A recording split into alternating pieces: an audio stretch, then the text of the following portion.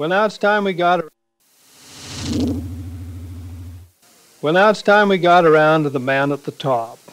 He's the man who's guided this school from the laundry to the cow pasture.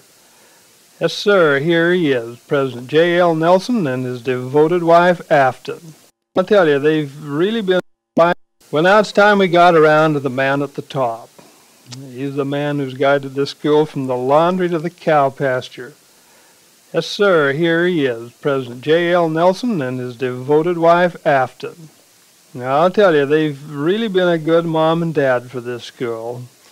Things have really gone well, uh, don't you think, Dave? Oh, I think so, you bet. But they've had, he's had his share of problems. One thing you know, he's never been able to get that dang staff to take his meetings seriously. Bunch of characters. Right. You know, he's such an impeccable person, too. I've never seen his desk when it wasn't ever so neat. Every time I've been there, it's always been immaculate. Right.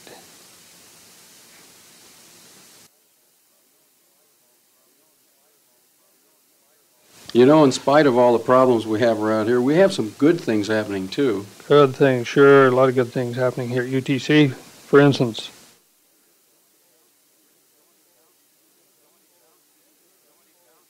How many pounds did he lose? oh, he, he didn't lose any uh, pounds, Dave. He gained seven pounds. Ferris, who would you say was the most enthusiastic employee at the college? Kent Birch. Kent Birch. Right. No, seriously, now. Well, do you think? Wendell Jones looks kind of enthused. Well, it looks like he just forgot how to work out a math problem. Yeah. Uh, I like Carl Seaman. He seems like he's got a tiger in his tank. Well, that's pretty good, but Okay, you're going what to tell. about what about Joe Baker? No, not bad. that's not bad, huh? not bad. But all kidding aside, here's the most enthusiastic employee on campus, Carton Magnuson. Right on. Oh, Dave. Dave, What's I, the matter? I think you've got the wrong slide here. Oh, he, he's improved. well, I, I think I'll have to admit that's the truth, and I think you'll see that in this next slide. Shows that old fire. Yeah, that's that's an improvement, all right. But you know, I really got to level with you. I want to introduce Mr. Enthusiasm, steam coming out of every pore, and that's Mike Homer. Just look at that. Wow, that is enthusiasm. You got him now. Yeah, You, you know, you multiply that kind of enthusiasm, and there's no telling what you can do. Okay, Michael boy, we expect big things out of you.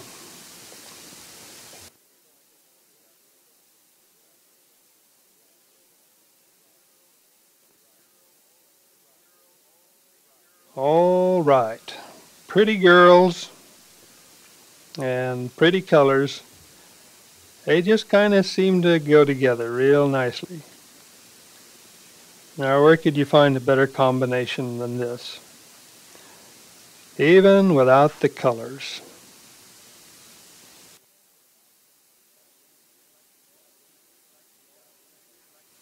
Anybody like to guess what these handsome guys have in common? Well, anyway, bald is beautiful, you know.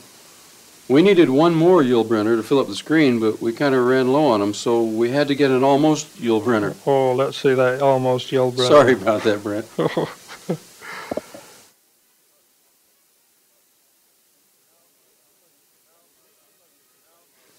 now, would you look at these smart Alex here, right here at UTC, Are you kidding? Here? right here. Where's here. it all going to end? Look at these people. Well, there they are. I, I just hope the rest of you don't associate with them. Not me.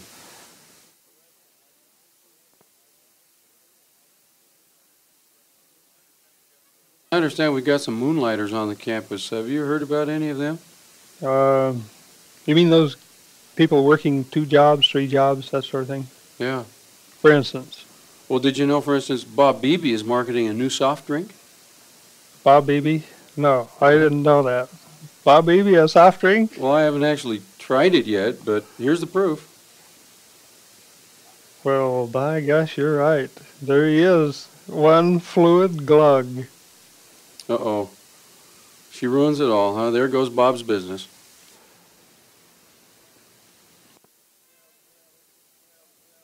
Well, well, anyway, say, Dave, wouldn't you think that uh, with all the notoriety Doc Hanson gets around here, that somebody, somebody ought to know about all his human rights work? He's really been involved in that kind of thing. Well, it looks like from the picture it was several years ago, but you know, I understand that he was given some kind of a meritorious award Yeah. for it. Well, well, you you like to see it, right? Oh, You, sure. you don't believe it. Well, it's a little tough. Well, here it is. Okay, you can read it for yourself.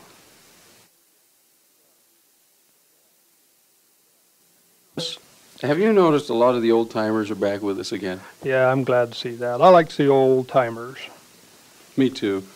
You know, Rex Holt is his usual pleasant self. Yeah, I think uh, I think teaching making him a little senile though. Uh, Rex used to be quite handsome, you know that. That's true. Uh, but how about Wayne Moss? Oh, Wayne, boy, I swear, Wayne, you're getting uglier every day. Bad case of the uglies, huh? And I think this is the way he used to look. That just about winds it up, doesn't it? Uh, not quite yet. Uh, just a bit more here. Have you noticed, Dave, that some of our people, uh, well, they're either into this transcendental meditation or they do a lot of fantasizing, I either one or the other. fantasizing. Uh, like uh, what it's like to own a pony, or uh, I've got an extra peanut butter and jelly sandwich with me today, or like um, I've got a date with Farrah Fawcett Majors tonight, or hello, Ardeen Ardeen Chapel, you've just won an all expense paid trip to Draper, Utah. Well, how about what it would be like not to have gas pains? Oh, that would be great. Or how nice a foot rub would feel right now? Right now. Or like um, when I find my bat cave, I'm going to fertilize the world.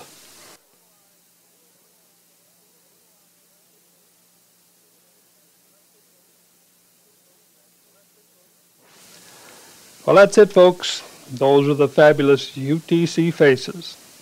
Hope you liked them. And just to brighten up your day, we're selling balloons out in the foyer. And we've got one just for you. That's all, folks.